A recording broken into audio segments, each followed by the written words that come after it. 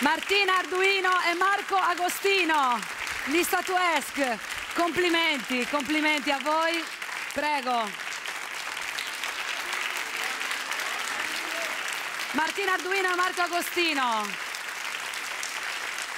Primi ballerini del teatro alla Scala sulle coreografie di Marco Pelle che invito a raggiungermi. Complimenti Marco.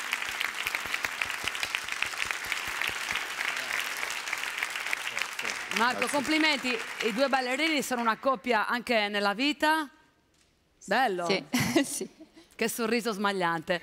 E questa coreografia nasce da un progetto di videodanza ideato da, da te, Marco, che Sì. non è ancora previsto come spettacolo, anzi, proprio il numero è stato creato proprio per noi. Allora, il numero è stato creato per voi, il progetto è nato ehm, dall'Istituto Italiano di Cultura di New York, Fabio Finotti, il direttore, che in quel momento era anche direttore a Washington, mi chiese di fare qualcosa per il 200 anniversario della morte di Canova e decisi di mettere assieme dieci video rappresentativi della, della scultura e della danza.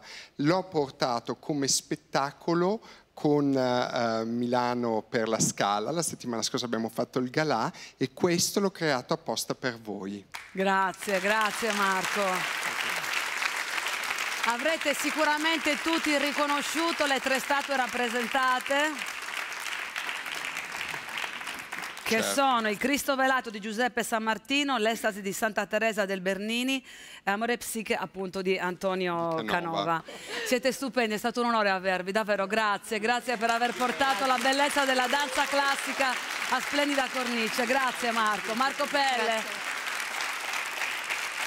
Martina Arduino e Marco Agostino, grazie, grazie.